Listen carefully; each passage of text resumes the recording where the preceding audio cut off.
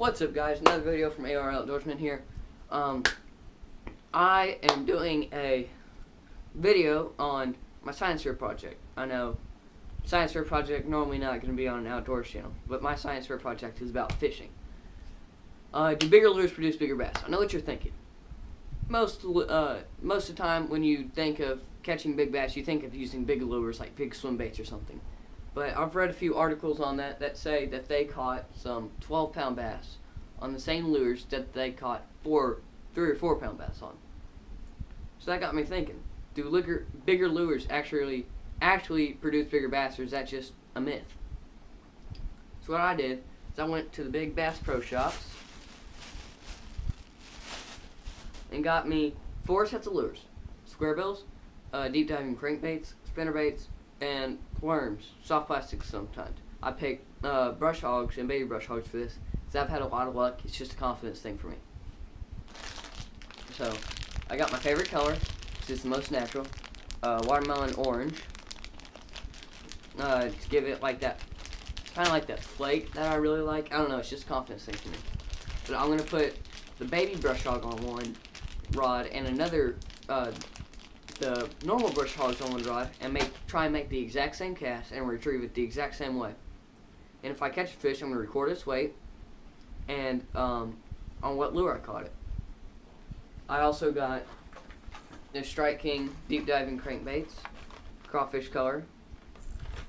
Also, another confidence thing. Um, and my favorite color of all, this. I also got that uh, this is the uh, 1.5 shallow diving and the 2.5.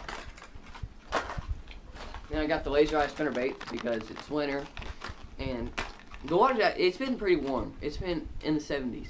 So I think the fish are still going to be active but not as active as earlier.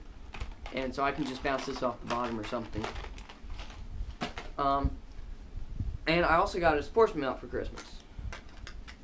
So be looking for uh, cool vids like that. And I tried to uh, record this. It would have been up maybe two days ago. Tried to record it on this.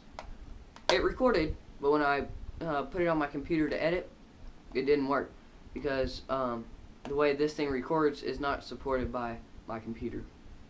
So I was going to use this for a bunch of cool other angles, but now I'm just going to have to, you know, let that be kind of glad I found that out after, well, I mean, before recording a bunch of cool duck hunting videos or something.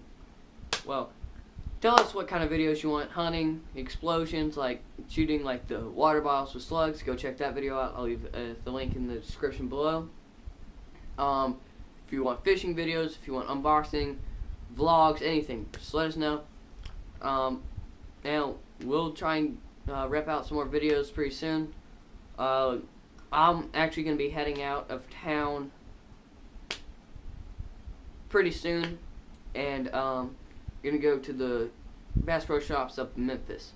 So, give us a like, subscribe, see more footage like this. Um, I'll catch you later. Tight lines, guys. Alright, so I'm just going to show you uh, the size difference brush hog and baby brush hog. You can easily pick out which one's which. It's kind of got that flake I really like. Um, here's the deep diving crankbaits.